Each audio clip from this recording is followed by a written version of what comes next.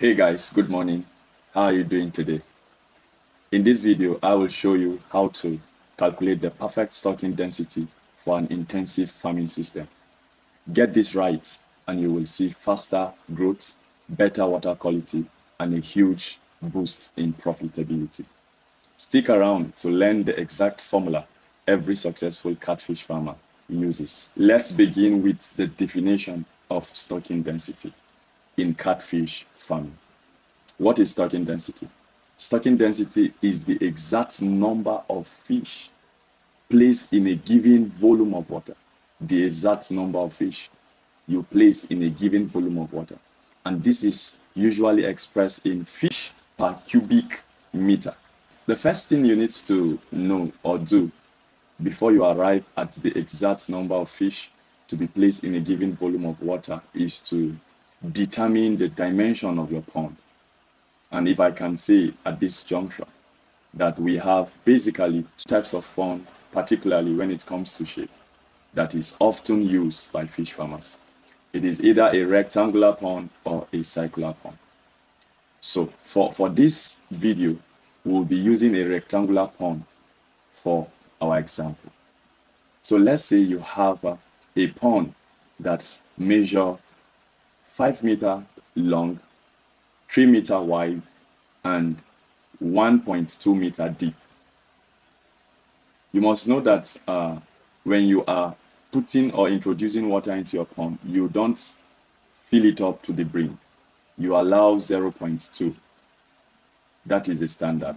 The reason for allowing that is so that your fishes will not be able to jump out because catfish are jumpers. Second reason is that this mm. 0.2 space left is to allow for natural aeration to take place. So we are filling our pond to one meter deep, leaving 0.2. Take note. So to, in order to calculate the volume of this rectangular pond or tank, the formula is length times breadth times depth. So we have 5 meter as our length, we have 3 meter as our width, we have 1 meter as our depth of water. So 5 times 3 times 1 will give us 15 meter cube. 15 meter cube. It then means that that particular pond will be able to carry 15,000 liters of water. Because in every one meter cube of a pond, it will contain 1,000 liters of water. So 15 times 1,000 liters will give us 15,000 liters of water. So now we have identified the volume of water for that particular pond. So it becomes easier for us to determine the number of fish that will reach a kg at the end of four to five months of rearing.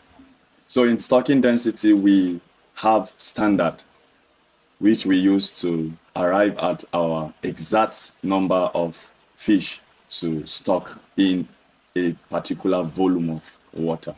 So for the volume of water that we have calculated already, which is 15 meter cube, which is equivalent to 15,000 liters of water. So the standard is that for every kg of fish to raise, you will need 10 liters of water. So every 1 kg of fish require 10 liters of water to survive. So now, having understand that you need 10 liters of water for every 1 kg, the mathematics becomes interesting and simple. So you, you are expected to divide 15,000 by 10 liters. Since the value for 1 kg is 10 liters, you want to know how many quantity of fish that 15 liters, 15,000 liters will be able to uh, carry comfortably. So 15,000 liters divided by 10 liters will give us 1,500 kg.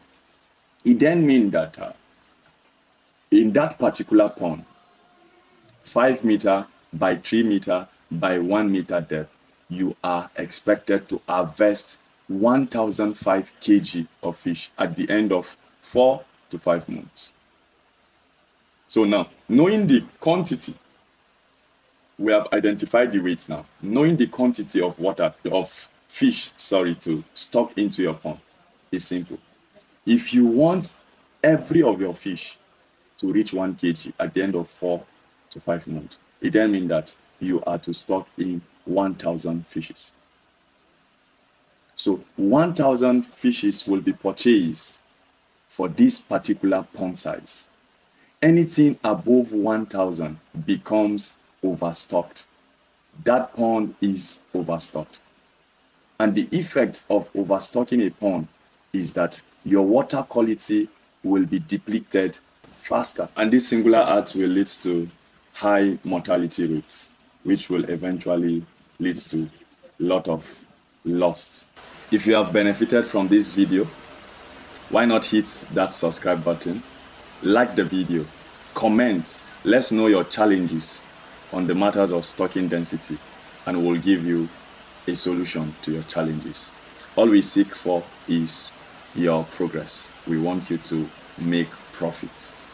Thank you and sit tight for more farming tips. Bye.